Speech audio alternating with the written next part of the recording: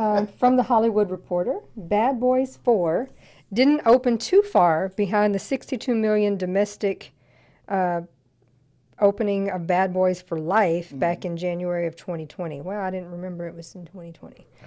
That film went on to earn 426 million at the global box office to rank as that year's top earner. Ride or Die has opened in its first 58 markets overseas to 50.9 million for a global start of 107.4 million and is strong doing business over across in Europe and Latin America. Um, what do you think has led to this success?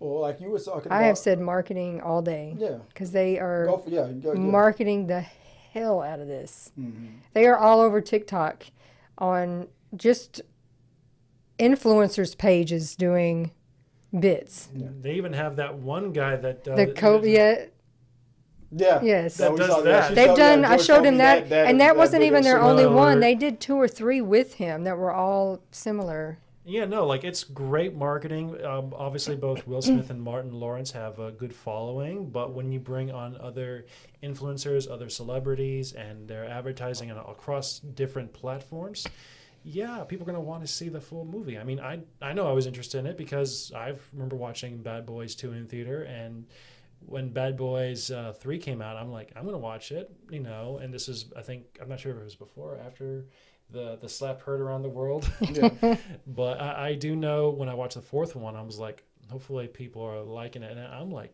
man, people are liking it. And Yeah. I'm like, okay, I'm liking it too. And oh my God, yeah. Well, we haven't seen it yet. We're planning. We're going. We're going to go uh, see maybe this weekend. But I have to agree. The the marketing of it has been uh, has, has been extraordinary. Just like uh, reminds me of what's going on with uh, with Deadpool. You know that every time Ryan Reynolds is uh, doing a Deadpool movie, that that, that that marketing team is on on fire, and they're always on point. So they did a great job uh, with that. I think.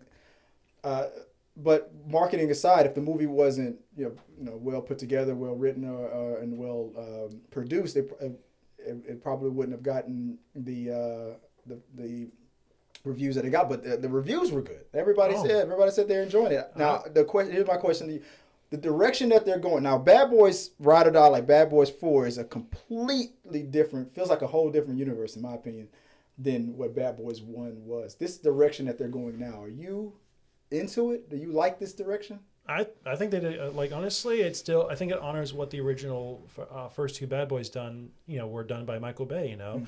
These two guys that are in this you know in the crap together and they're gonna make their way through it. They don't know how they're gonna do it. They're they're gonna do it you know? And uh, they definitely are uh, uh, well they're ride or die for They're this bad, one they're bad boys. they're, they're, I- they're, definitely ride or die for this Yeah. ride for sure I, I agree. The only thing I don't agree on is that is that it's it's I, it's the Fast and Furious effect. I mean, it's a it's a completely different world. That I mean, they came from just uh, street racers who who steal cars, and now they're international uh, spies and, and and whatnot. So, and I, and I feel like that's but at but to survive, I think they have to. I think just like most franchises nowadays, you have to adapt. I mean, you can't do the exact same knock knock joke from uh, you know from 10 years ago 20 years ago you have to adapt and evolve and that's and it's and it's you know you find it you're finding a whole newer a newer and younger audience but i feel like i don't mind that they're going you know to these bigger and uh and and more complicated uh, uh stories and and getting this whole team family if you will involved i don't mind that it's just that i feel like from what one and two did i feel like the formula was more simple. Like it was a person is in trouble. They need they and these and these bad boys. Uh, they bump into the bad boys to help them, you know, get out of a jam. Like the first one was a person who witnessed her friend being unalive, and then uh, the, the bad boys had to be like protect their, her protectors. Now it's it's going into it's going into that. Oh, I said it. For me, It's going into for that. me. It's going into that um spy direction. Like they're like they're internet now. They're becoming more international uh, almost James Bondish kind of types or something like that. Like GI Joe. I don't know. I feel like that's where it's going. Maybe well, that's me. any sequel that you have, especially in action, it's always gonna they're gonna try to They're one gonna- up. They're gonna try to one up it. They're gonna try to one up it because they have to. Otherwise, it's like You don't want to It, tell feel, the same it, joke. it feels like otherwise, it, like it's not just the same joke, but it's like doing higher stakes action, higher Mm. stakes stories. It's gonna it's gonna continue escalating the series, you know, to to new heights. No, but I like, but it's gonna get to a point, in my opinion, where like it's gonna turn into it's like it's gonna feel like it's a Mission Impossible uh, movie. Where they're gonna now that they're they're crossing over finally GI Joe and uh, Transformers. I feel like we're gonna be like, okay, maybe we can cross over Fast and Furious with uh, the Bad Boy. What what franchise would work with these guys? I don't know. Um, I do remember there was one time I heard where tw- the 21 One Jump Jump Street was going to be mixed with Men in Black, Black. and I'm like, I would like to see that. I think that'd be, Jump Street could work with Bad Boys. Well, they, no, they Men could in- work, uh, but but Men in Black and Twenty One Jump. I was hoping Sony would do. that. Yeah. Um, it's a, it's a hard thing to say what they could go with because Bad Boys curse a lot and there's so much violence Yeah. and you have to find something else that's rated R that has. the that's in same- that same kind of tone. Yeah, it's, it's What about um, uh, what's that? Uh, the one, uh, the Eddie Murphy Ax- Axel Foley film, uh, Beverly Hills Cop. cop. That fits. Yeah. I mean- I, am not mad at that. I'm not mad at that. That I can mean, fit. Yeah. I mean, I'm not sure if they if there's a lot of violence or language. oh yeah. in- Oh yeah. If there is, then okay, they, it could work. They can. Yeah. That. Yeah. That's a good one. I. I, I can see that. Um, in the box office, they. Oh, what was that that it made? And that opening week it was like. Uh, that that first weekend it made what 50 Was it, 50.9. uh, million, uh, and and it's gonna and you know it's about to run into a, a whole uh, slew of movies that are that are oh my goodness what the heck happened there? Uh, zoomed in too much on that one. But uh, coming up the projection for uh, inside out is about 85 uh, million.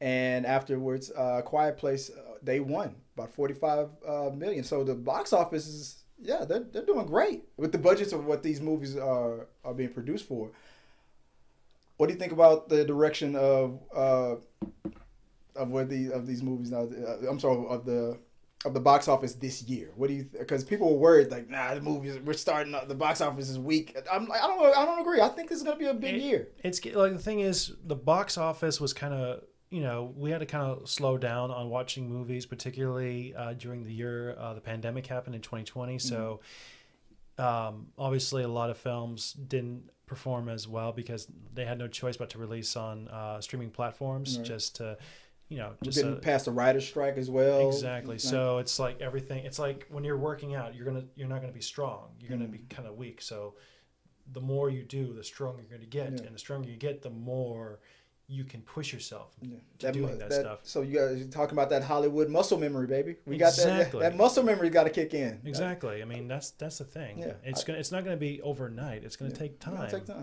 We got Inside Out coming out. We got uh, we got uh, Deadpool and Wolverine about to come out. We're about to have we're gonna we're gonna have some juggernauts uh, coming. Which one do you think is gonna? Do you think Inside Out is gonna make a billion? Mm, maybe like a couple hundred mil, but I think Deadpool, Deadpool and will. Wolverine. Deadpool definitely will. I, I think. I think Inside Out too could make a billion. eh, I think the first one make a billion. I don't know. I don't think I it. have to look that one up, but I think But, I, but my my my money's going to be on Deadpool. Deadpool, and definitely. Wolver- Deadpool, definitely. I mean, as the one movie that's going to get the most money this year, probably Deadpool and Wolverine, because I mean, you have Ryan Reynolds, Hugh Jackman, both are looking like the actual characters from the comics and the cartoons. Not to mention, it's it'll be the most highest. it'll- It'll, be the be- high, most highest grossing R-rated movie, definitely. But but it- Inside Out, um, that, that the, if the question is which is gonna make more money, um, I, that's if it makes a billion.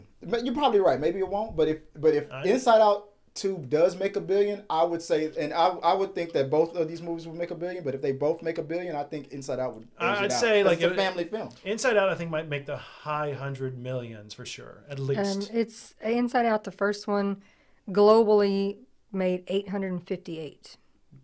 I- I would say probably like between 500 and 750 Okay, million, okay. just just to be on the safe side. Alright. Because sometimes sequels out surpass them, sometimes they don't. But Yeah. still, if they get a good amount of numbers, guess what?